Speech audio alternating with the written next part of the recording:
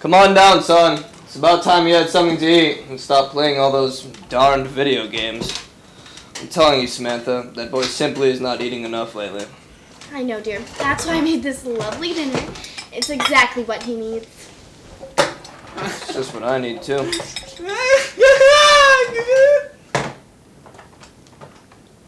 Sorry guys, I'm here. And don't worry, I'm starving. Sit and let's pray. All the Kyle. time. Okay then. Dear Lord, we humbly come before you today with a simple Man, I'm hungry. I'm really, really hungry. I hope this prayer isn't too long, though. What do we have here? Steak! Wow, that's. that's. well, I don't know.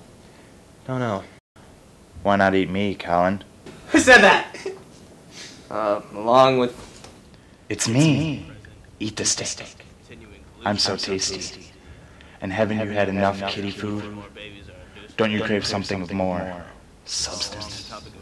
I'm down here, Colin. Look. Yes, Colin. It's me. The steak you desired to fill you after all these years of eating things that don't fill you. Eat me and be satisfied. What? A, a talking steak? Why should I believe you? Because you know it's true, Colin. For too long, you've grown, and instead of becoming mature by eating the foods that you know will fulfill you, you've eaten baby food.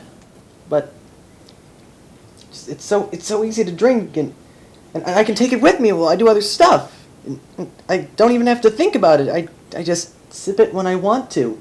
It it's perfect. But it doesn't satisfy, does it? Come now. You're a grown boy.